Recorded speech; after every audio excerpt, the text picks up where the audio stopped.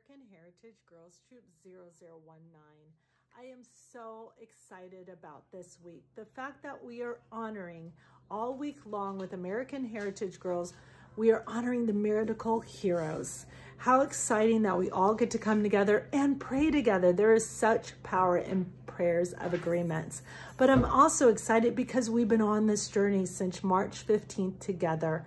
We were actually before that because we went straight to the nursing homes as soon as they closed the nursing homes and started blessing them with cards and prayers and books and all sorts of fun creative things. So I just wanted to thank you from the bottom of my heart for joining us and flooding the nursing homes and the fire stations and the hospitals with God's word and his love and cards of encouragement for everyone on the front lines. So I just also wanted to share some creative ways we have been getting into hospitals through uh, staying in our car and praying and doing Waymaker parades and cheering with banners as we drive by with Fish Radio Station and many others, fire stations, I mean, fire uh, men and police men and uh, women, and it's been an honor and a great delight and singing and worshiping to Waymaker at seven o'clock and praying together. So this Friday, this past Friday, we went into Hoag Newport and gave them over 500 cards and banners and um, food, burritos, 30 burritos, water from Rouse, uh, gift card from their favorite pizza place, La Ventina's, and we got to uh, give them 200 free burrito cards from Miguel's Juniors in Costa Mesa. So it was such a blessing and great delight to have our troop represent and have Trail Life represent and schools like Stony Brook and ILA. So I just wanted to thank all the people that were in this with us together. It was such a blessing. And we're about to do greater things in him. Amen. So as we come together and pray, I wanted to encourage you some creative ways that the Lord's led me to pray. From the first time we went into Mission Hospital, I received, um, actually Saddleback was our first hospital and I received uh, people's names to pray for that are inside the hospital. So the Lord led me to pray through voice recording and text those since we can't be close up close with one another in the season or we can't go in the hospital, but we could text inside the hospital. We could YouTube videos, which was the next thing the Lord led me to do were YouTube videos and take communion. So I did that faithfully. And today, as I was praying for someone, the Lord said, anoint them. And um, I just be obedient and just find the scriptures to back it up. Because God says, my sheep hear my voice in John 10, 27. So I honor him and I back it up with and confirm it with scripture. So the anointing oil I have is the Rose of Sharon in, from Jerusalem. And it says, is any among you sick? Let him call for the elders of the church and let him pray for him, anointing him with oil in the name of the Lord. And the prayer of faith will save the sick and the Lord will raise him up. And if he has committed sins, he will be forgiven. God forgives, amen, and he heals. And that's in James 5, 14 through 15. So what I did was I took communion, I prayed. I'm going to use Josiah, for example, because he was the one that the Lord started me with anointing oil. So I just put it on a piece of paper and anointed it with oil. And when I was praying over cards that went into the hospital and nursing homes, I knew of the scriptures um, to stand on, but I wanted to say them with you as well. So we're going to look at Acts 19, 11, or let's actually start with Jesus. Jesus gave us the greatest example in Mark 5, verse 40, 34, sorry, 5 verse 34. Because the woman with the issue of blood, she didn't do anything but touch his garment. She didn't go and ask him for prayer. She didn't say, can you heal me? She just knew who he was and touched his garment. So just the touching of his garment, she was healed and made whole because that power released from him. Well, that same power that rose him from the dead lives and dwells inside of us. This resurrection dunamis power. So when we lay hands on a card, we do it in the name of Jesus, not in our own authority, but in Jesus. So we lay hands on the cards and pray in the authority Jesus has given us, as it says in Isaiah 22, 22, Matthew 16, 19, Luke 10, 19, and Revelation 3, 7. So we stand on those verses. Now, when it says in Mark 5, verse 34, Daughter, thy faith has made you whole. Go in peace and be whole of thy plague. So that plague left because of the faith. So, and there's verses that say it's impossible please God without faith. The just shall live by faith. So we're doing this by faith, just like Abraham did. When Abraham was Abraham, Jesus, God called him a father of many nations. He didn't even have a child and he called him a father of many nations. So he walked by faith by living that out. And we see that manifested today. Thank you, Lord. So, uh, and you speak those things that be not as though they were. So you, that's what Jesus did when he called the little girl asleep versus uh, dead like everyone else. And they laughed at him but he spoke those things that be not as though they were. So let's look at um, Acts 19, 12. So Matthew, Mark, Luke, John, Acts, Romans. In, Ma in Acts 19, verse 12, it says, so that from his body, oh, let's start with 11. And God wrote special miracles by the hands of Paul. So by the hands of Paul, God brought many miracles. I ask, Lord, you do that for all of us because it says in John 14, 12 that we're able to do greater works than Jesus did. So we'll turn to that shortly. But it says, so that from his body, verse 12, were brought unto the sick handkerchiefs and aprons. So what we have been doing are the cards, and I've been doing the names. This is Bryn, another person we've been praying for. I've got uh, Mrs. Debbie Smith, Mrs. Smith, a teacher at Stony Brook. Wendy, a mom at ILA. Kelly, a dear friend. I have Megan. I have Kaylin, a new mom.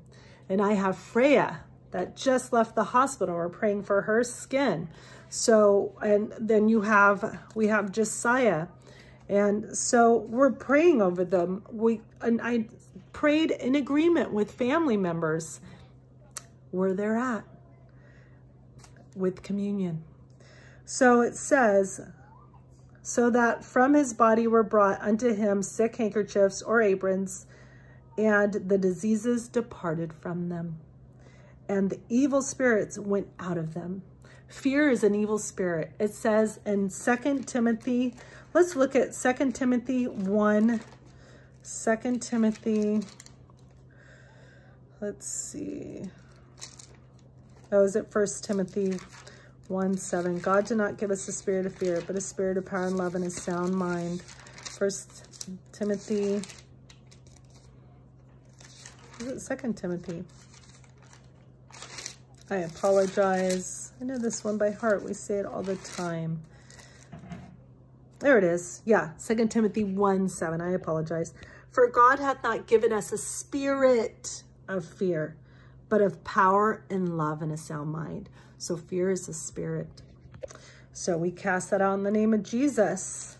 So another scripture, because I asked all of our troop to find three scriptures to stand on. So I've got more than three because I love God's word, but I just wanted you to start. It's good to have a starting point. Okay, that's the minimum, three. That's all you need to do. But if you get more, God bless you.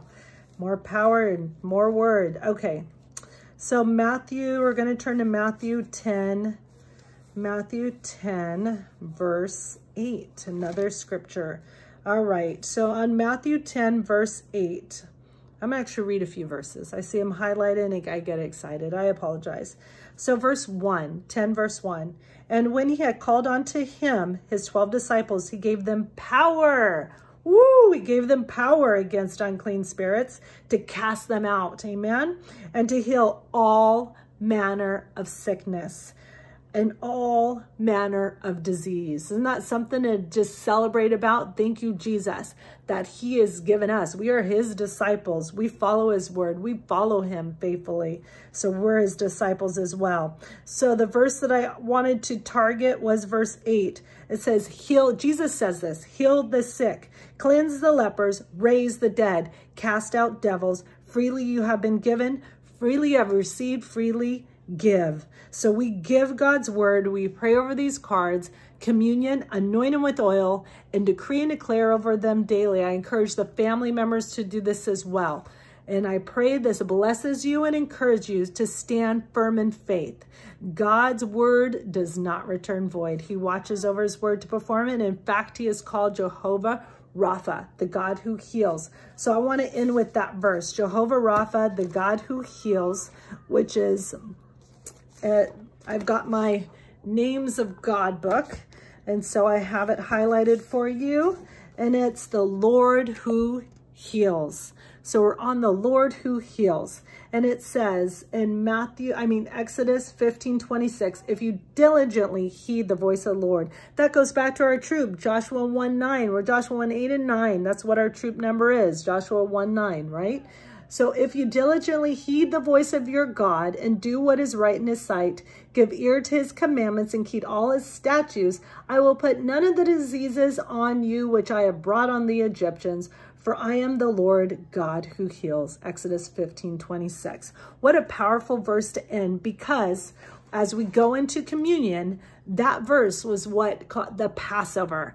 It passed over them. They, they, um, we have Jesus, who's the lamb that was slain for us. So worthy is the lamb that was slain for us. So we're going to do communion and pray over all these cards. And then I will anoint them and put them in my prayer book. And I encourage you to do the same for your friends and family. So we're going to do go to Luke 22 and do this in remembrance of the finished work of Jesus. Amen. So Matthew, Mark, Luke 22. Luke 22. And my family does this in the evening. Um, I would love to do it at 7 o'clock because Waymaker plays at 7 o'clock. Hospital nurses tend to change shifts at 7 o'clock, so it's a wonderful time to just be a reminder, take a pause at 7 o'clock every day, play on Alexa or your sound system, Waymaker through the Fish 95.9. They've done a lot of great things for the community in prayer and bringing people together. So we're all in this together and our goal is to speak joy. So you can hashtag, look up the hashtag Speak Joy. You can see some of the things American Heritage Troop 0019 is doing and has been doing faithfully. Also, Angie Castro 333 is my um, handle on Instagram or Angela Bennett Castro. You can look it up and see the great things we've been doing for the community. So we're going to do the Passover. We got, I've got my bread here and I'm just going to use, even though I'm going to pray again with the family, the medical professionals. I put it on a card and a little heart and I'm going to do this in remembrance of Jesus, the finished work, what he did for them. So dearly, Father, we praise you. Thank you, Father God, that your body that was broken for us. As it says in Luke 22, we do this in remembrance of you. We thank you, Jesus, for all that you've done. I thank you, Lord, that you've forgiven our sins, that we humble ourselves and seek your face, as it says in Second Chronicles 7.14. Thank you for forgiving us all. Thank you for forgiving our uh, country and forgiving the uh, cause of this, O oh Lord. We forgive them and we pray for them, O oh Lord. Open their eyes to see the truth and to, and to heed your voice and stop their evil, wicked ways. Dearly Father, we thank you, Lord. The angels are camped around our medical professionals. I plead the blood of the Lamb of them, and I, I thank you, Father God, for your finished work. A hedge of protections, as it says in Psalms 91, 11, angels encamp around them, keeping them safe at all times. And I thank you, Father God. I do this in all the names that I have written out. I do this in honor of Josiah, emotional, uh, mental, and emotional spiritual, which was AHG's day one prayer. I do this for Debbie Smith. I do this for Bryn. I do this for Kelly, Freya, Kaylin, Megan, Wendy, and um, all of you. In the name of Jesus, we do this in agreement for all that you've done for us, Jesus. We love you and magnify your holy name, our healer, our redeemer, our savior, wonderful, mighty counselor, and prince of peace. I pray peace over you in Jesus' name. Amen.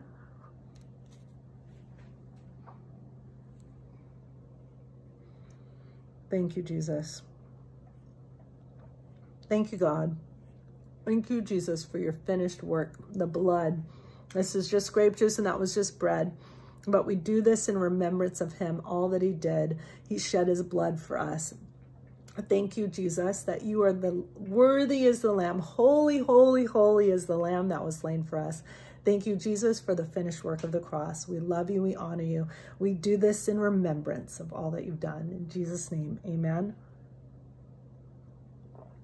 Thank you, Jesus. We praise and magnify his name. We glorify the Lord who is worthy to be praised.